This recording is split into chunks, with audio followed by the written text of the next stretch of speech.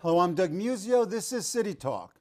He manages $176.2 billion in state pension funds, a record high. He audits the spending of all state agencies and local governments. He reviews the New York State and New York City budgets. He must approve all state contracts. He's up for reelection this year. And he's the nicest guy in Albany. Or not.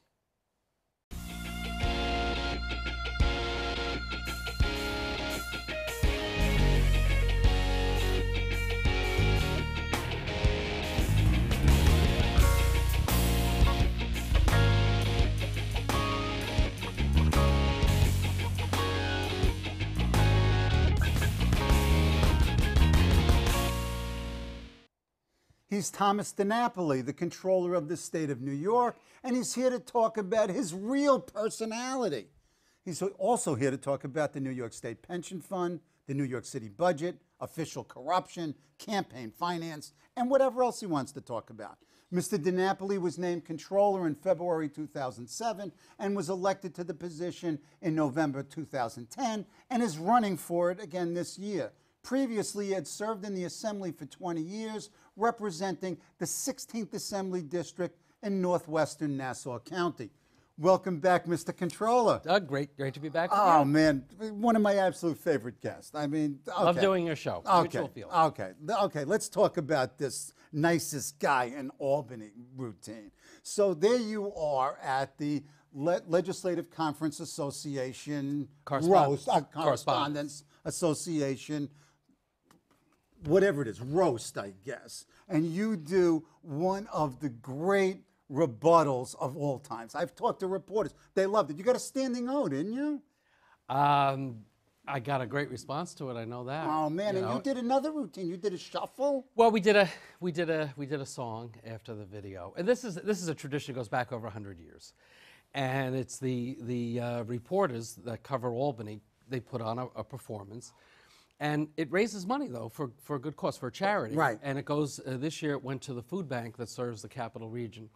So it's all a good fight. It's kind of like it's, it's Albany's version of the inner, Inner circle, right. It's a similar concept. Right, and, and, and the elected officials do a rebuttal. And they ask they ask a Republican and a Democrat to do a rebuttal, and they ask the governor uh, to do a rebuttal. So I, I got tasked with doing the Democratic rebuttal. So you have you have you you have Rob Astorino, the Republican candidate for governor, and you have Governor Cuomo. Right. Now I've seen all three of them.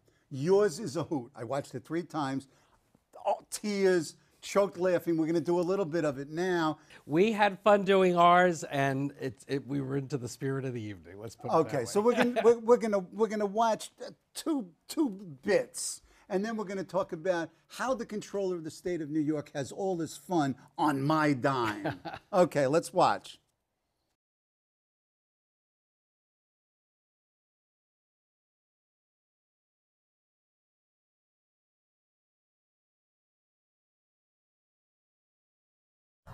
You know, Tom DiNapoli is the nicest guy I have ever known in my life. Can anybody in Albany really be that nice? Look, I, I don't know who's watching this, uh, but I need your help. Uh, I came to work here in Albany for uh, Comptroller Tom DiNapoli. Everybody told me what a great guy he is. Uh, he's not, not at all. In fact, take a look at some of the secret video I took uh, when they weren't paying attention. Take a look at this. Hey, Tom DiNapoli, how you doing, hey, man? Carl McCall. Tell me, how's the second best appointed controller in the history of the state of New York? How you doing? Oh, great. Second best? Well, you second know. best? Well, let me ask you this, Okay. Mr. McCall.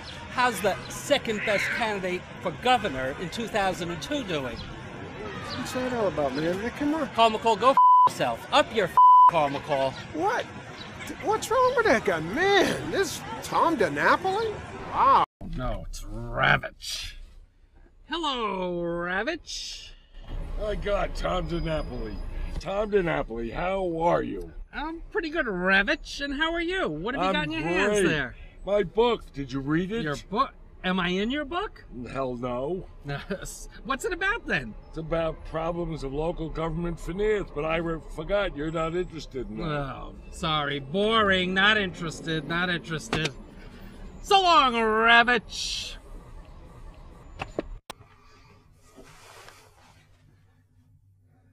Hey, boss, what's wrong? Uh, Don't hey boss me.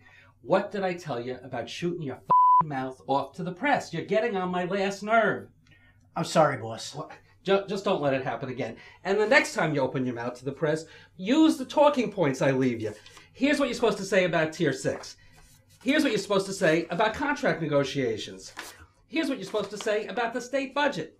And here's my lunch order for today. And please get it right. No anchovies. If I see anchovies on it again, we're going to have problems. Sorry, boss. Just get it right, Daniel. What a moron. You see? You see what I mean? I'm telling you, DiNapoli, DiNapoli's mean. He, he he's unstable. I'm telling you. People need to know. People need to know that he he he'd do anything to get his hands on this video. I I think he's actually got people looking for me.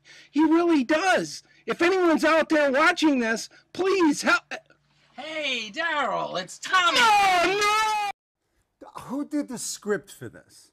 And how did you get the actors? I mean, the Richard Ravitch one, the Seinfeld takeoff, it's just a screen, but there, there's lots of good ones. I would urge people to go to YouTube and watch this because the Stephanie Miner routine, the routine with kids, we're missing all that stuff. Talk a little bit about the background of all of this. How did you Well, do we, all of this? we, someone uh, came up with the notion that um, since I have this image of being a nice guy and you know all that stuff, that Which um, is obviously I true. guess it's true, but you know, but um, we said, you know what, let's do a counterpoint to that. And uh, there have been other skits that have done similar things with other shows, and and so we worked internally on on the script and. Uh, we improvised it. Well, you know, you mentioned uh, the- the piece with former Lieutenant Governor Dick Ravitch.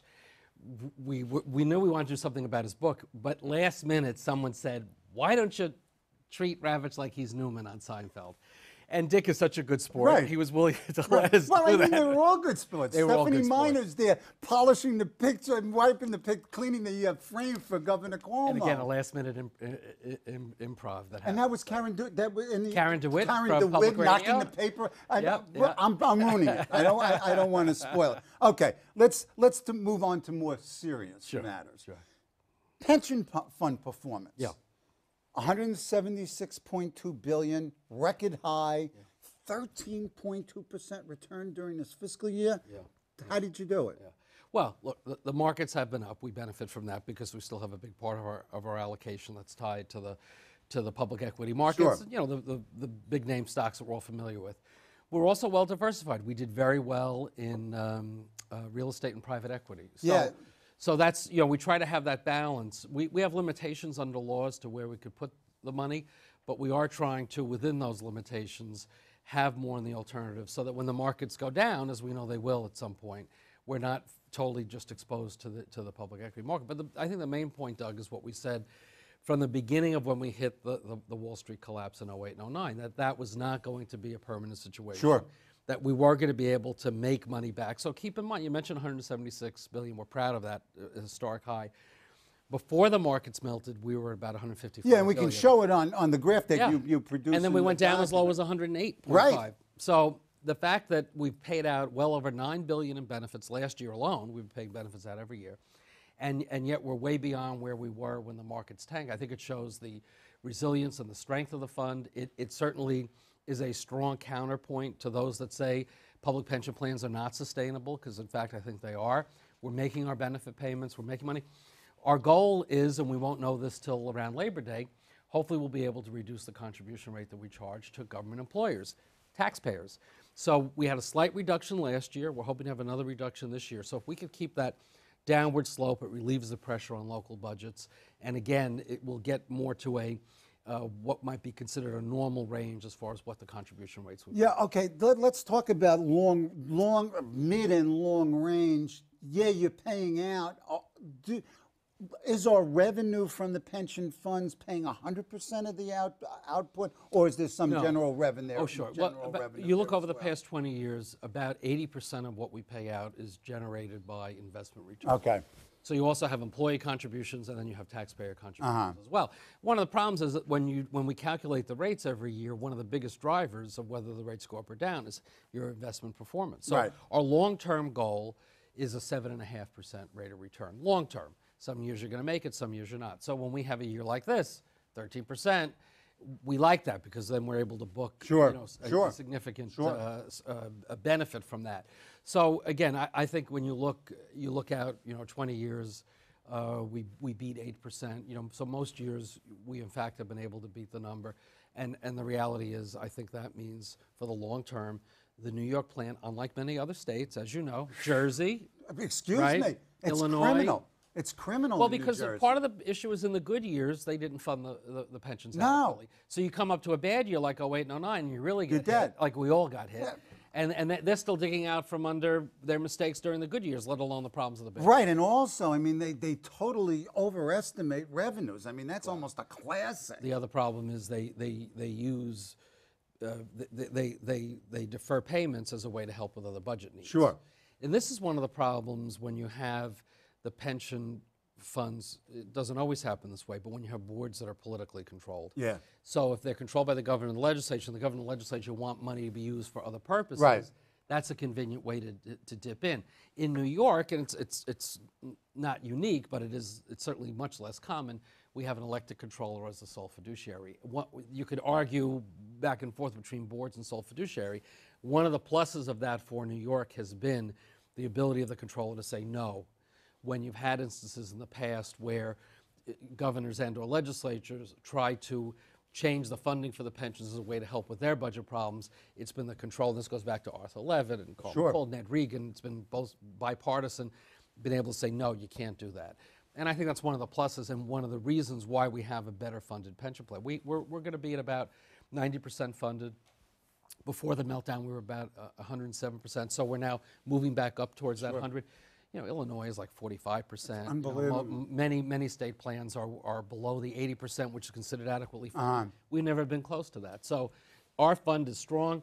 Good news for the retirees and their families, but it also means New York State's financial books look better because of that. We're Mm-hmm. able to get a better rating from the rating agencies because of that. We, we have 80% of our retirees continuing to live in New York. Right. That means they're spending their money here. It's recirculated back into the economy. So the defined benefit pension plan is not just good for the members. It really is good for everyone.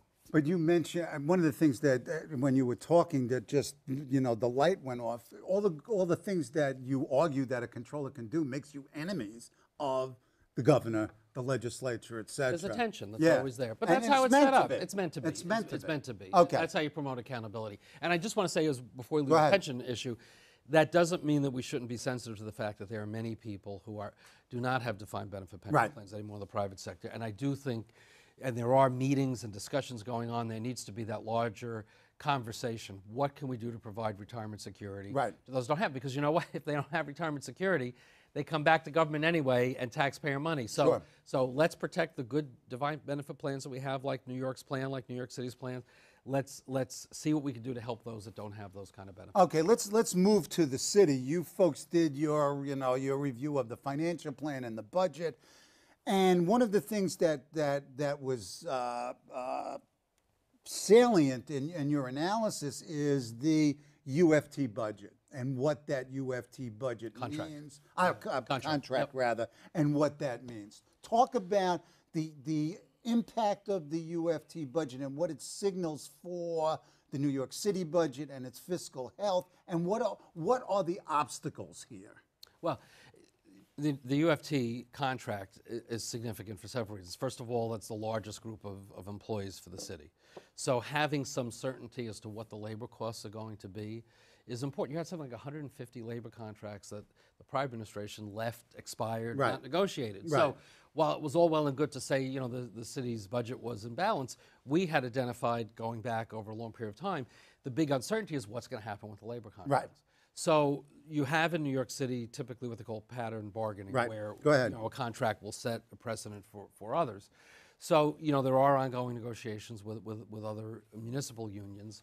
One of the key aspects of the UFT contract is this notion of the union working with the city to save money on health care. Talk about that Well, because it's- this is this a is a big big expense area a big growing. expense and, Yeah, and yeah, growing. It's also somewhat problematic about how you're going to get this 3.4 billion dollars. It's true, and and and the, the municipal labor council is going to be involved with working with the city, and if there are disagreements on on how savings are going to be realized, there's an arbitration process set up. So, so there is still some question as to as to how.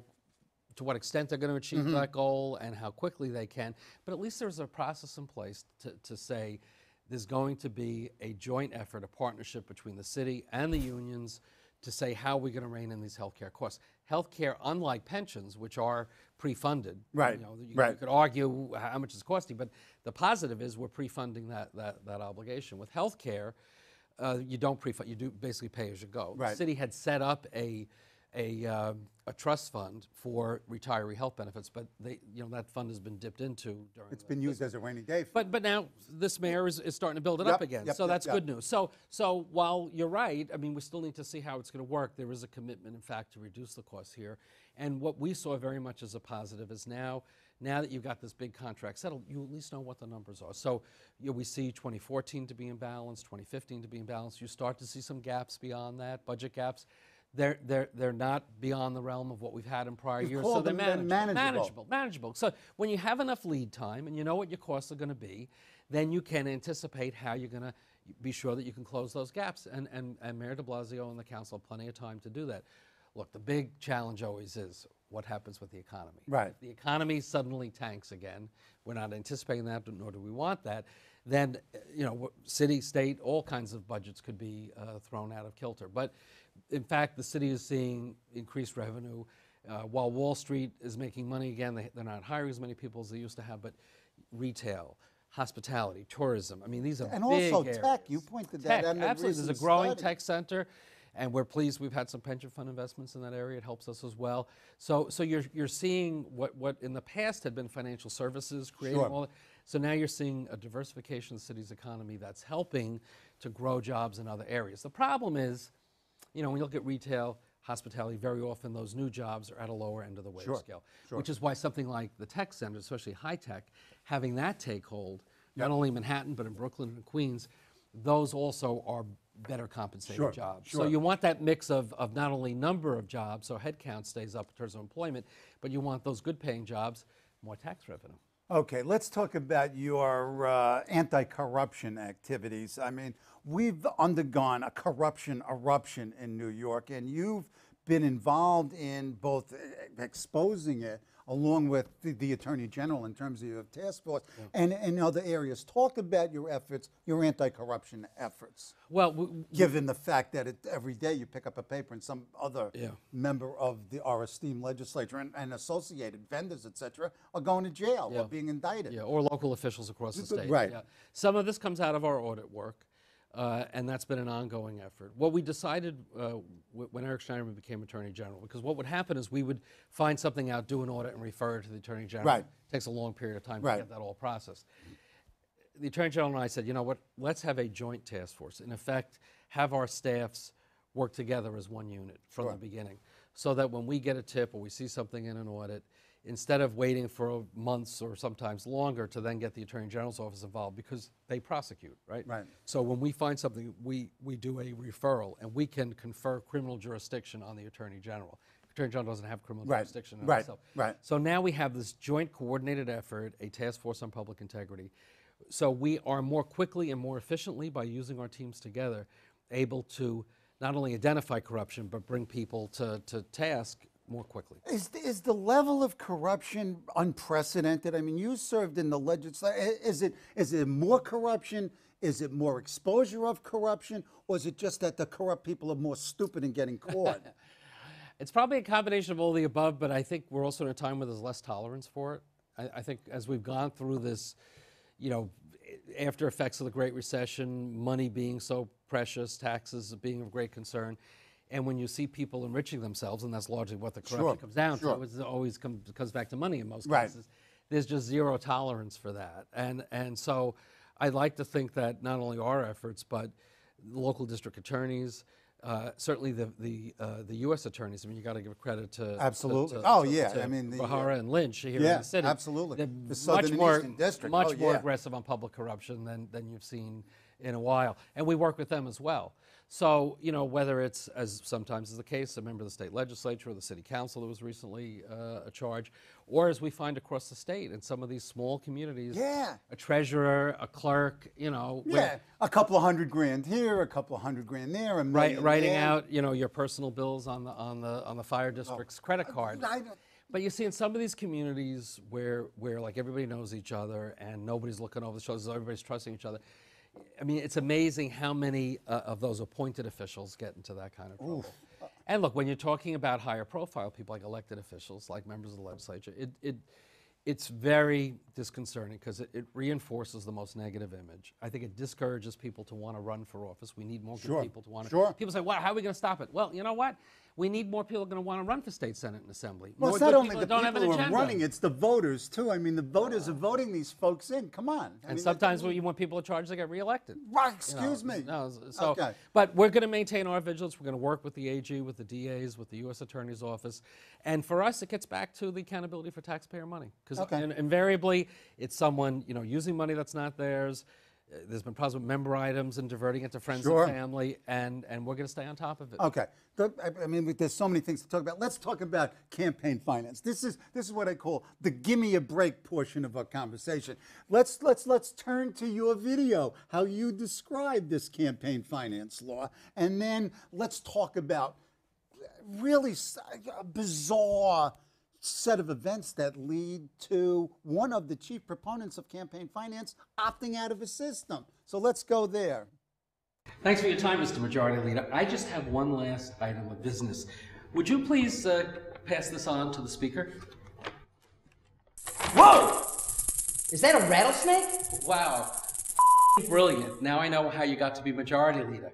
You tell Shelley that's a little gift from me to thank him for that stitched together, back of the envelope, Frankenstein monster public financing pilot project that applies to the controller's race in 2014. Tell us what you really think about this Well, campaign actually, that- finance. That's probably the one part of the video that really is not, That- that- not that's not a joke. No, That's not a joke. no, That- no, we get that's it. We get it. We Look, get I, I, I, I mean, this is, abs- excuse me, uh, editorializing. This is absurd that they do it at the last minute. They put in charge of the Board of Elections, which is totally dysfunctional, and you're not involved in any of the conversations to do this. Talk about this. Why? What happened and why? And is it personal? Well, I'd like to think it's not personal. So, some You'd like to think. and I oh, and I'll, I'll stay. You know, I'll stay the positive. I, won't- I won't be the wolf of 110 State Street. I'll be the positive. Okay, you know, you're sticking to the nice guy routine. Yeah, because the you, you have to. Otherwise, you, yeah, right. you, you, you, you know, Okay, it's not a go chip on your shoulder. Go it's ahead. not worth it then. It, it, you know, I've always said, we've talked about it on the show before, public financing is the only way. Yep. It may not be the best system, but it's the only way to say money's not going to have the influence, the connected are not going to be the only ones to run for office. But to do it, Liz, but to change the rules three and a half years into the cycle where we've been playing by another set of rules would require me to return the money, basically most of the money that we had al- already. It, the rules are rushed to be put in place. It's not even good for the challenger. The challenger's got to raise, you know, like $200,000 from 2,000 people in a short time period of time. It's crazy. On top of it, it only applies to controls race. And guess who has to certify to release the money from unclaimed funds? The controller. There's like a built-in conflict. I mean, we're going to do it right, but you look at this and you say it, it really was a last-minute thrown together to be able to say we did something. And instead, the people who most have wanted have said this. This stinks. all the all the Don't- advocacy groups in the and, civic and say they, to opt out and of they the said, system. Tom, don't go into it. Yeah. So whether whether I was whether I would have or should have or could have, once you had the people most advocating for it saying if you go in, you validate a, a poorly crafted plan that is doomed to fail, and then people will say, see, it didn't work. So that's why I opted not to go in. but not to have you part of the conversation. What's wrong with the four men in the room? Seriously. You've got Skelos, you've got Klein, you've got the governor, and you've got Shelley Silver. And then there's Tom DiNapoli, who's the person who's Well- the, the pilot of this, you know. Come You on. know, the, the, the controller's office does not have a seat at the table. I mean, it's just, you know, we're not part of the legislature, we're not part of the executive, you know, so there's good of that. You would think that You're it's a matter of common Well, of courtesy. course, Come on. Of course, of course. Because I think had they didn't do it the way we had set out in our legislation. Right. We, we had a we had an independent campaign finance board. We had lower threshold thresholds to to qualify for the money. But the most important thing, Doug, is that it would have been or, already would have been in place when New York City moved to this. It had a significant lead time, so you could issue opinions. Right. This Forget about crazy. changing the rules in the middle of the game. This is changing the rules at the end of the game. It, it really was very poorly conceived. What we need to have is, it should not be an excuse to not do comprehensive campaign finance reform, public financing for governor, controller, attorney general, state legislature, phase it in, 2018. is the- I maximize, mean- I mean, maximize really. small donations. You could start with the legislature in 2016. Okay, we've got 30 seconds. You're running for office. Yep. What's the status of the election? You got a primary? No primary so far. Petitions. General? General. Uh, Republicans designated uh, the Onondaga County Controller to be my opponent. So there is a race, and we're going to work hard and get our message to the voters. And I hope to be back on your show next year to talk about what we're doing. Please. Okay, quick. What's the bumper sticker for the campaign? Oh my God, we're still working on the bumper sticker. Oh, we didn't man. have we didn't have we didn't have a catchy one last time. So the main point is DiNapoli 2014. More than that, we don't, that's right. We don't That- need to that's get all, out. That's all. Yeah. That's all you need. what do you want? Real quick.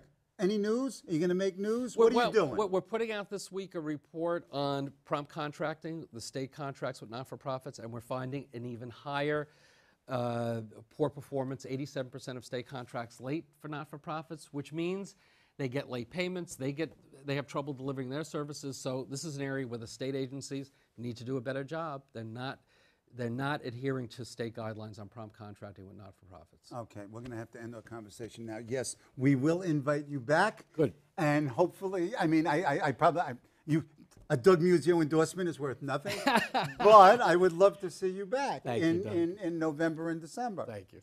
Thanks to Mr. Really Nice Guy, New York State Controller Tom DiNapoli. Join us next week here on CUNY TV.